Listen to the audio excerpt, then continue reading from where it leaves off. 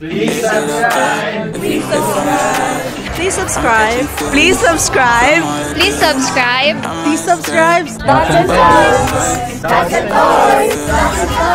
toys. Dots and toys. Dots and toys. Dots and toys. Dots and toys. Dots and toys. Like and subscribe. Dots and toys. Please watch and subscribe. Thank you. Now we're together, it's a different mode. We getting crazy in a Wala na ako sa dialysis.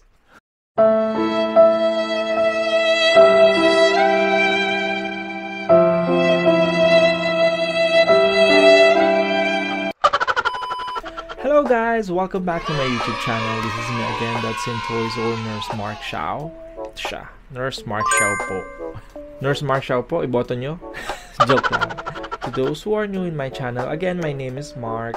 I'm a registered nurse in the Philippines, in UAE, and of course in United Kingdom. Specifically, I'm a dialysis nurse. Dialysis nurse pa ba ako? Charot. Specifically, I'm working as a dialysis nurse as of now, but well, this vlog is all about me transitioning from dialysis nurse into, of course, may ako na sabihin. it's all about me transitioning from dialysis nurse into ICU, and I'm gonna work as a neuro neurological ICU nurse in one of the hospital here in Leeds. It's still part of the Leeds Leeds NHS Trust.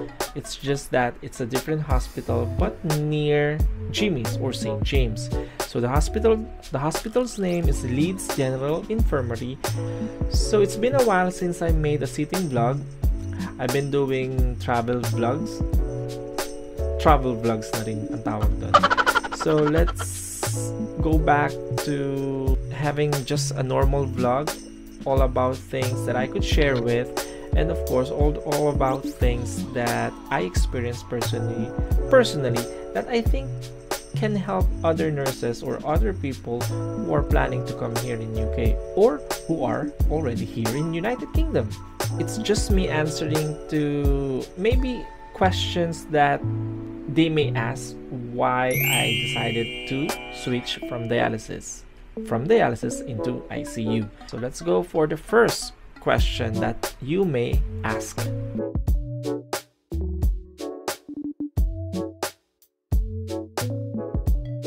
So, let's start with um, why. Let's just say that I'm in a crossroad in my life. I'm in a crossroad in my life. I'm in a crossroad in Hindi my totoo yan. life. wherein I'm deciding where where should I go or if I should improve myself or should I aim higher.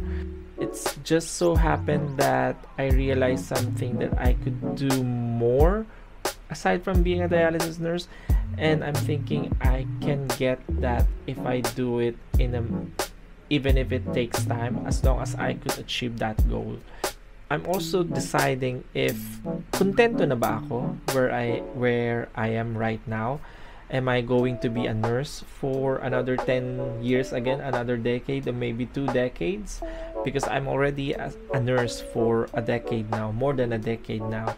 And even though I already been a charge nurse before, I'm still aiming for a higher position, which I don't think it would be let's just say I cannot achieve that.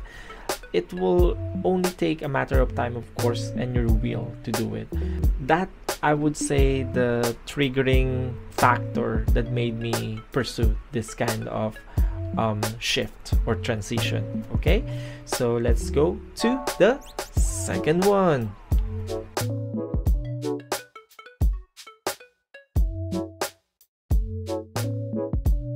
Siyempre sa mga marites, baka mamaya sabihin, ah, umalis yan because ayoko na sa dialysis. I had an argument, maybe I'm pagod, or so on and so forth, right? So, just to clear things up, I didn't relinquish being a dialysis nurse because because of something trivial. I would say right now that J48, where I'm working as a dialysis, I would say the team is great. The teamwork is okay. The staff, the staff are okay. Uh, I don't have any infightings with them. I don't have any arguments with them. I had a great time for a year and a half with them. And yes, I'm only I'm only a year and a half as a dialysis nurse here in UK, but I've been I've been a dialysis nurse for quite some time now. Like all of my nursing career. Yeah, true. I just want to pursue something else. It's not random because I have my plan, which I'm gonna share later on. I just want to clear things up. I didn't left because of stress. Dialysis job is great. By the way, hello guys in J48. To those who who's gonna watch my vlog, thank you so much and hopefully you will watch it even though I'm not part of the team anymore. I'm still gonna do bank shift there for sure. Syempre, for the money. So that's the second question. Let's go to the third.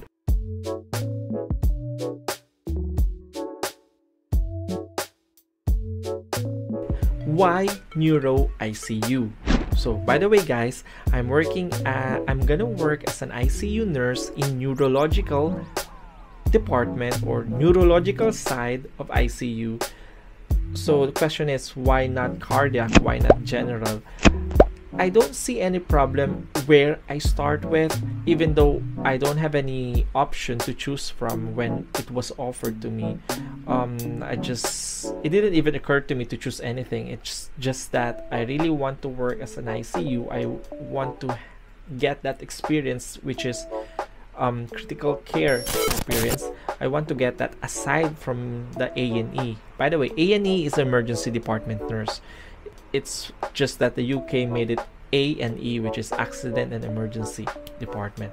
So yeah, I'm an A and E nurse as well. I'm doing back there for a year now, and not just there. I'm gonna share some other bank shifts I've done for this past one and a half year career in, here in UK. I'm gonna share it later on. I'm just building. I'm building up my portfolio for my chosen goal, which I think having a critical care experience would really benefit me, would really push my portfolio into achieving that certain goal. So if I do that, I think it would be helpful. And of course, it's a learning experience. I would love to learn being an ICU nurse.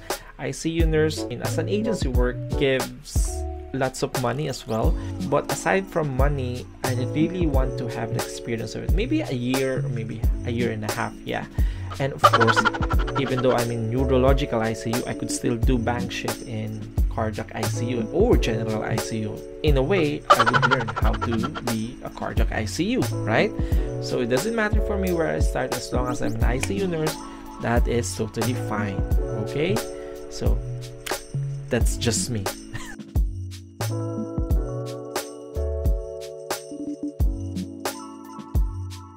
Let's go to the next question. Is it easy transitioning from wherever you are into an ICU? Or in my case, is it easy from renal nurse or dialysis nurse into an ICU.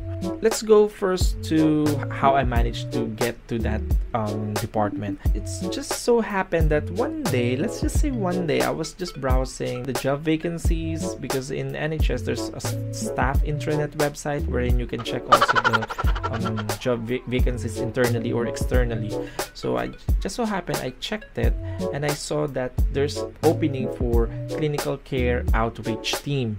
So I'm really curious about it. I just read the job description, but I didn't apply for it. I just emailed the there's gonna be a matron or a nurse in charge or the one who's handling the job opening.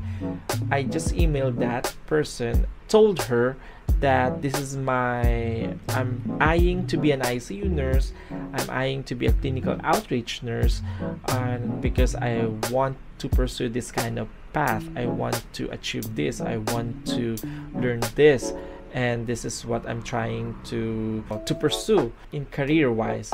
So I just open up what my plan is. I was not hoping for any reply within a week, but I got a reply after a day or two, and they replied in a positive way, wherein they're really it's just that they're, they're happy to forward me into the team where they handle the recruitment they welcomed me which i'm surprised and i was happy for it and that's how the um, process goes it's just a random email and then i just query and they offered me the job they offered me neuro ICU, which I, as I've said, I didn't even think that there's gonna be a cardiac or general ICU. As long as I'm in ICU, I'm fine with it. Um, they offered me neuro, and they invited me for a meet and greet. They we had a conversation there with the clinical nurse. Uh, clinical nurse. Yeah, yung naka-violet, yung naka basta clinical nurse. I, I forgot ano ba tawag doon sa mga nurse na yun naka-violet, uh, basta yun, put, iput ko na lang sa details, nalimutan ko. Nagustuhan ko naman, uh, and then I decided, yeah, I'm gonna take the job. So, the transition is smooth. I just informed my general, my line manager about my decision, and she's happy. She doesn't have any problem, but sometimes there's gonna be a problem with staffing. So that depends. For me, we do have less staff but since it's something that they cannot hold you against so yeah sooner or later you will get the job even if there's a um, staff shortage in your current department so yeah so I, i'm gonna start with september 4 as i've said and it all started by june so that's my time timeline so i started june maybe last week of june and then july june july august yeah so uh, September. That's what happened to me. I wouldn't say that you should do that same thing that I did, but who knows, right? You can do that. You can just go through the normal process. It's up to you guys. I'm just sharing what I've been to.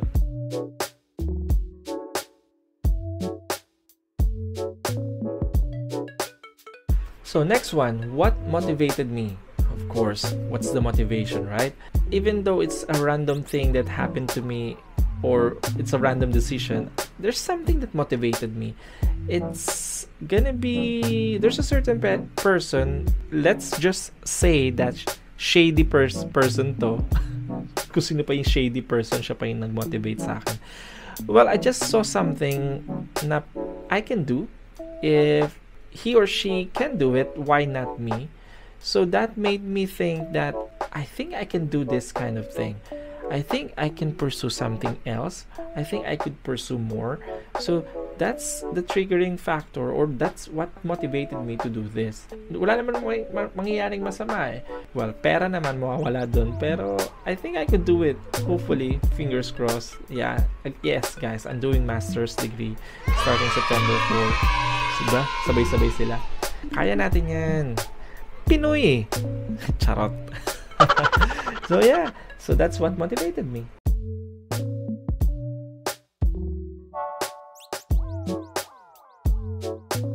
Itong pinaka marites na question.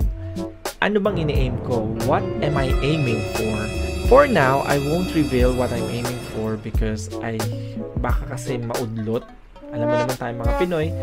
But let's just put it like this. I'm aiming for something beyond band 6. Yun na lang. So it's up to you kung ano yun. Mali mo, band 6 lang din. I'm just aiming something beyond that. I have a plan for it. How will I get it? Hopefully that plan works. But alam mo naman kung yung mga plano hindi natutupad. But malay mo, what if, if I do, this time, I really want to do something aside from my work right now. I'm really keen to achieve it. So I think that's gonna be, uh, um, you know, positive. It's gonna be positive. I think I, naman. If you want to achieve something, you can just, you should pursue it, right? Um, kahit ano pa sabihin nila, right? You, you can, pers- if you think you can do it, do it, right? Sabi nga, let's do it. Nike. I just do it pala yun. So yeah, I won't reveal it for now, okay? So maybe sooner, yeah, sooner I will. If I could see that there's gonna be a positive changes so I think that would be it. That would be the vlog. It's a really short one. I don't want to make it longer. I hope that it helped in a way to those nurses or people who are planning to pursue something else. I know there are capable nurses or capable person who can, who can do it. Ako nga, hindi naman ako ganun ka, I'm not an intelligent person or knowledgeable person, but I, I was able to come here in UK. I'm not really entirely um, mag, magpatas ang grades, but I managed. I took the exams, I passed the exams, multiple exams, not just, ang dami ko na exam pinagdaanan, but I'm here. Hindi ko pa choices yan. It's just that I don't have any choice. But now I decided to pursue something. I don't think I wouldn't get it. So yeah, that's my advice or my last message. I hope you enjoyed this vlog. And again, don't forget to subscribe guys. Click nyo na rin yung bell button. Please. okay guys, good night, good morning, or good afternoon, wherever you are. Bye-bye.